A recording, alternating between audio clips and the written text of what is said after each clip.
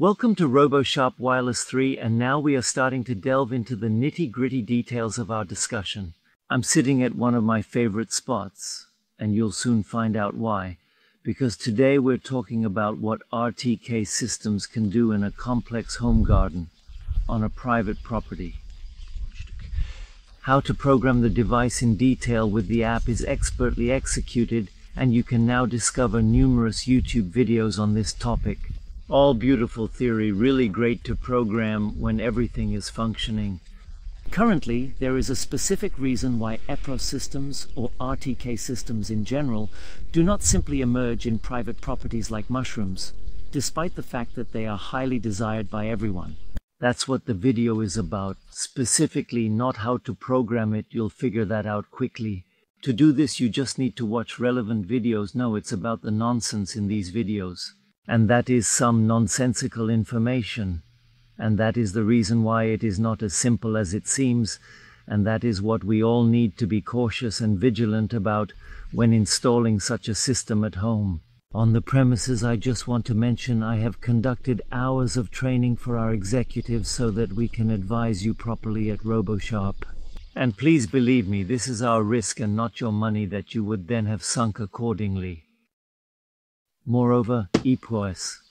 All well-established manufacturers employ a so-called RTK or differential GPS system as their fundamental means of navigation. Additionally, there's a base station up there on the roof's top. It's non-critical since you'll always mount it correctly. That implies that can be overlooked. Then there exists a correction radio connection and that is where the initial fairy tales originate. This route is actually not critical at all. It's a great radio that is based on the old frequency of the first mobile network and reliably establishes a connection between the robot and the base station even around houses to avoid shadows. You must have heard a lot about it. There are all sorts of fairy tales. None of them are true. What is the problem? For RTK GPS to work in principle, we will briefly look at it on the computer later to see how it works but for it to work in principle it requires both the base station and this antenna, which in this case is inside a Husqvarna EPOS mower, to have precise satellite reception wherever it is. Yes, and now take a look at my favorite part. There is a tree, there is a swing in the back, and in between the lawn is very tight and well maintained. You can also see it briefly displayed below now how it looks on the app. So here, navigation must be accurate to the centimeter, otherwise the lawn robot's blade is exactly at that spot in the stand. So, and then there is also the lawn robot standard which tells the robot if you don't have a very precise position here. Ha! Lawn robot standard topic where vacuum cleaner makers jump in once don't believe in it. No, a lawn robot is not permitted to operate unless it has precise knowledge of its location within a 2 centimeter range and this requirement is doubly redundant. So that means he always has to know it. And now let's take a look around. Let's take a look at the tree. Let's see how much we can see from the sky there. We see nothing from the sky there. That means that's a spot that is not so easy to handle with RTK. And it's not just a quick satellite search as you hear in some videos and he'll eventually continue driving. No, he will not continue driving in there. And if we do not specifically pay attention to what we are supposed to do here, which includes actually evaluating and measuring satellite reception everywhere in these areas, he will end up stuck in the corner. And that's just how it is. Now let's talk about the principle. I'll take you to the computer with RTK GPS now. Before we proceed to the computer, just a quick note. Segway has reached out to me. A close acquaintance of mine and the robot are on board.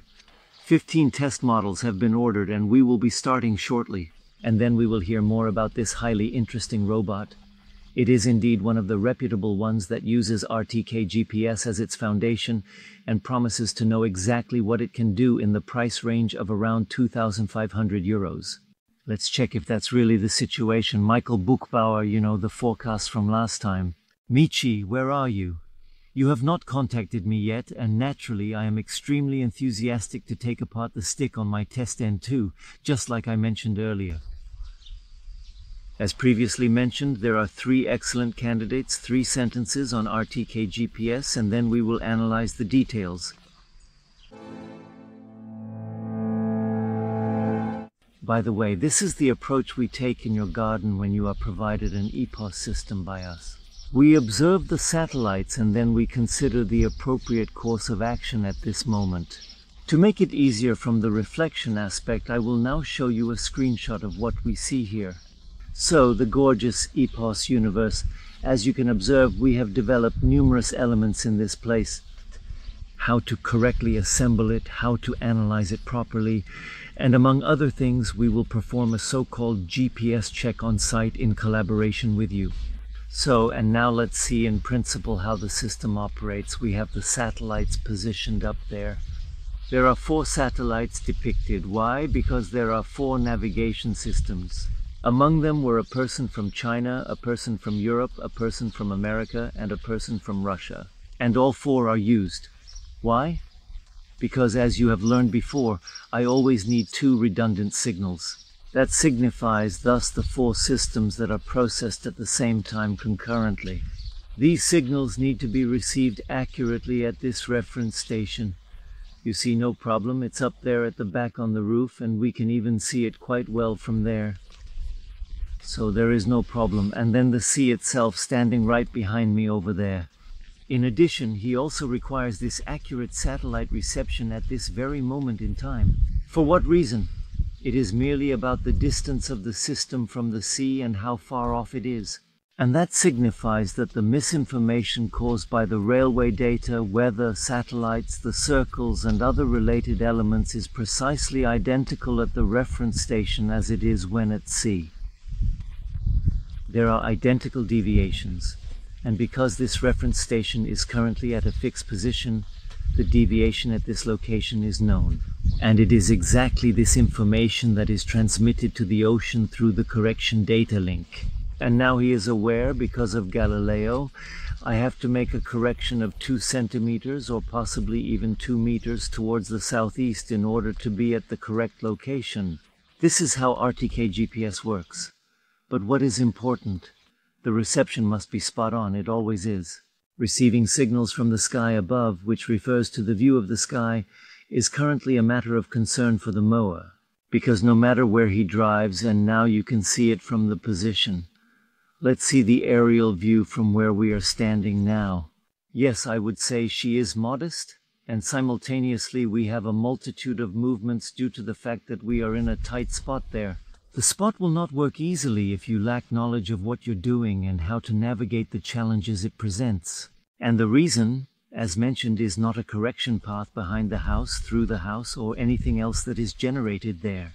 No, solely the reception on the robot itself. No other aspects or components are involved, solely the reception on the robot. The problem is in the location where he drives. That area needs to be analyzed. Yes, and now let's examine a few areas in the garden where it doesn't work as smoothly on this test setup, so you can gain an understanding of what to watch out for when installing an electronic point of sale EPOS system. And please do not despair at this moment. It took us a total of two years to somewhat comprehend and grasp the knowledge of how to effectively analyze a property. Well, the reason why there are not as many systems yet and I would say if you do want one at this point, let us just say we have the capability to do it. Just contact ROBOSCHAF and we will analyze your property and see how it looks.